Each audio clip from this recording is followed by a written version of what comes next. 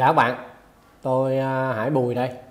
Hôm nay tôi sẽ nói cho các bạn một số vấn đề về xác định đối tượng tính giá thành của một số lĩnh vực nha. Vì các bạn xác định đối, đúng đối tượng tính giá thành á, thì nó đỡ mất thời gian cho các bạn. Còn các bạn mà đã xác định sai rồi á, thì nó mất thời gian lắm. Các bạn chỉ cần nhớ tôi một cái nguyên tắc như thế này nè. Mình làm cái gì cũng vậy á, là mình phải biết mình làm cái đó nó đạt được cái mục tiêu gì được chưa? Chứ không phải làm mà không biết cái mục tiêu mình làm nó đạt được cái gì. Nó không mang lại cho bạn một cái giá trị gì á, thì nó mất rất là nhiều thời gian. Và tôi nói các bạn một ý này luôn.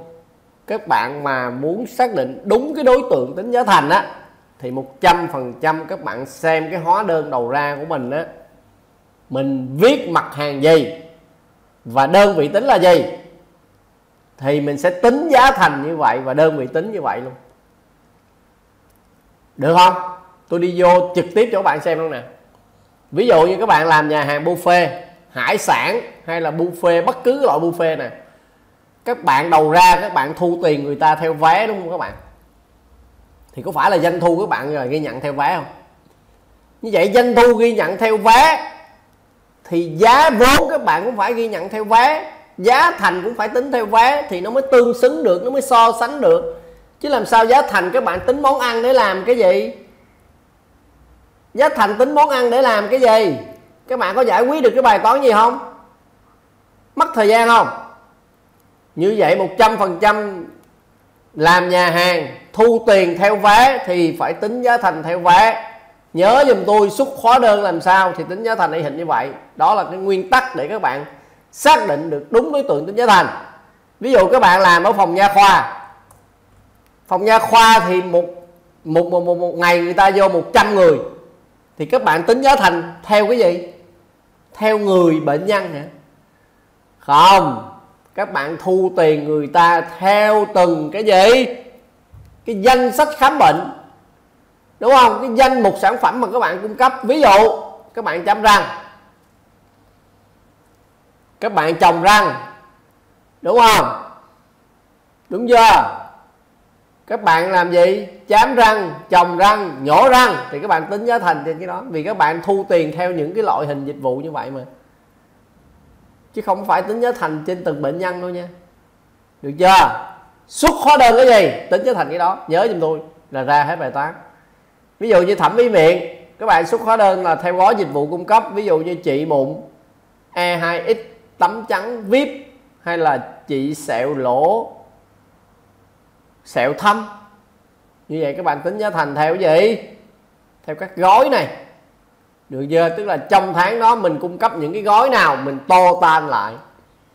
Được chưa? Mình sẽ tính giá thành theo từng cái gói đó. Ok, ví dụ như trong tháng đó là chị bụng EX2 là hai chục. Tấm trắng VIP là ba chục. Thì các bạn tính giá thành của một chị mụn EX2 E2X là bao nhiêu? Rồi, nhà hàng ăn uống. Các bạn tính giá thành người ta là viết cái bill là theo từng món ăn. Thì các bạn tính giá thành theo từng món ăn. Rồi, các bạn làm ở những công ty mà tính giá, mà mà mà làm theo đơn đặt hàng, thì các bạn xuất hóa đơn cho người ta theo cái gì thì các bạn tính theo cái đó. Ví dụ, các bạn xuất hóa đơn theo đơn đặt hàng, mà không theo chi tiết từng cái mặt hàng trong đơn đặt hàng, thì các bạn tính giá thành theo đơn đặt hàng.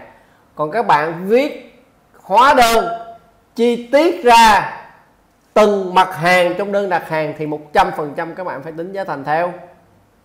Chi tiết của từng mặt hàng trong đơn hàng. Công ty các bạn nuôi gà để lấy trứng để bán.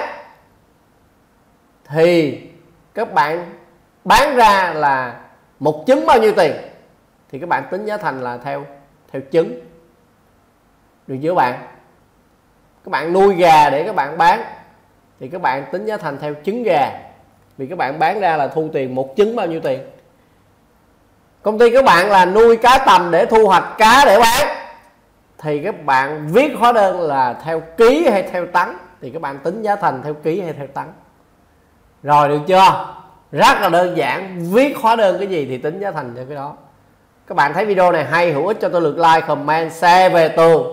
Bạn nào chưa rõ nữa thì comment cái lĩnh vực mình đang làm xuống bên dưới rồi tôi và các bạn sẽ nói ra tính giá thành theo cái gì.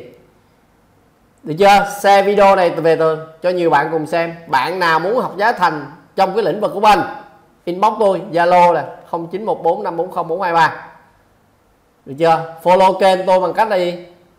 Lên kênh youtube, gõ từ khóa gì? Tự học kế toán hoặc là tấn hải bùi. Các bạn gõ từ học kế toán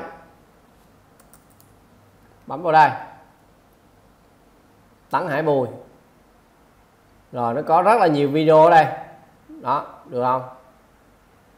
Rồi, các bạn xem nhớ, bấm từ đăng ký kênh ở dưới này đăng ký kênh kế bên tấn hải bùi nhớ bấm subscribe vô.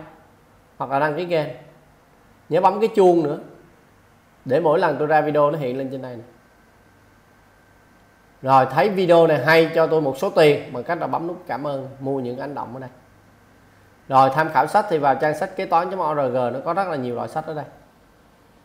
Rồi xe về tường nha, cho nhiều bạn cùng xem. Rồi, cảm ơn các bạn, hẹn các bạn trong những video tiếp theo. Chào